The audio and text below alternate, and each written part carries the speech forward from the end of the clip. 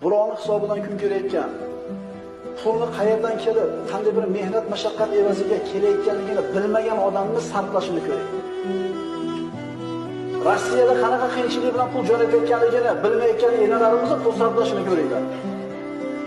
Ikki yil ikki yil betob bo'lib bemor bo'lib yurtidan bola chaqasidan uzoq bo'lib qiylanib topib kelgan erni bitta to'y o'tkazadi. Shunday shunday shunday yerini sotib turib boring yana. O'zi bitta qo'shni kasal bo'lib kelgan edi endi yana ketadi. Beri olmaganda noinshir o'zini farzandini uzoq musofir jo'natgan aka ukalar opalarimiz ham eshitadi bu ma'ruzalarda inshaalloh qanaqa qiyinchilik mashaqqat evaziga topib jo'natayotganligini jiddiy mulohaza qilinglar. Qadriga yetinglar isloh qilinglar. Chunki bu farzandlar bu juft halollar bu tomda safar yurganlar. Keyin ham kerak bo'ladi sizlarga. Qadriga yetinglar